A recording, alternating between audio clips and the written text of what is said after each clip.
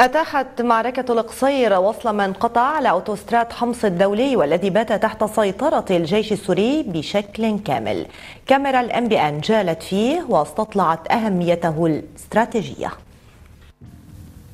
هذا هو بيت القصيد. أوتوستراد حمص دمشق تدمر طرطوس. من هنا الحدود اللبنانية السورية باتجاه الهرمل ومن هنا الحدود اللبنانية السورية باتجاه عرسال ما يؤكد أن معركة القصير كانت معركة أوتوسترادات. فمن يسيطر على هذا الخط الدولي يسيطر على أهم نقطة إمداد ونقطة ربط ووصل وتواصل بين المحافظات. إذا أردت أن تقطع الجسم اضرب الوسط. والوسط هنا هو أوتوستراد حمص دمشق لبنان أو ما يعرف بأوتوستراد المنطقة الوسطى. كان الاستراد هون مقطوع بشكل كامل ولكان يمكن آه، نزول إذا آه، على قصير بالكامل. آه، كان مجموعات مسلحة بشكل دائم تقطع الطريق.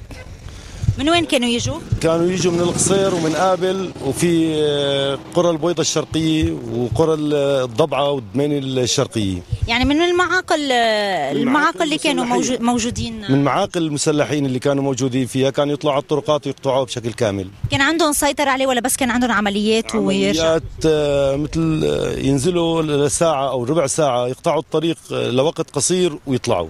كانوا يستهدفوا عربات الجيش بشكل كامل. على الطريق. كانوا السيارات مدنية استهدفوها بشكل بمنطقة الحمراء ومنطقة الضبعة. عندما بدأت معركة القصير انكشف المخطط وانشدت العيون إلى الأوتوستراد الدولي الذي يربط العاصمة بالساحل السوري فلبنان العراق الأردن وفلسطين. من هنا نفهم لماذا تجمعت في القصير كل عناصر القوة والبشر والسلاح ولماذا نزل العالم بأسره إلى هذه النقطة بالتحديد التي شكلت بداية إحباط المؤامرة. لازلنا نتقدم على أوتوستراد حمص. ومع كل تقدم نقطع المفاصل الرئيسية التي توصل إلى كل المحافظات الرئيسية ضمن القطر العربي السوري. من هنا محافظة حما. طرطوس. حمص تدمر. وأيضا هناك نقطة وصل بين اللاذقية والساحل السوري. وأيضا باتجاه حلب.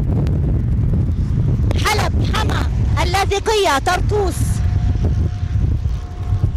كل هذا يعزز ويؤكد هذه الأهمية القصوى الاستراتيجية لهذا الأوتوستراد التي دارت فيه للأخذ أو للإحكام عليه آه، أقصى المعارك من أجل السيطرة عليه وكانت معركة القصير هي أهم المعارك آه، للمسك بهذا الأوتوستراد من الجنوب باتجاه الشمال وأيضا يربط الغرب بالشرق.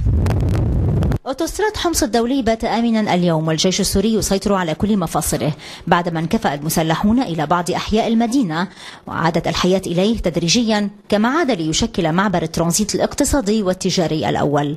عصام محمد ليندا مشلب أن بأن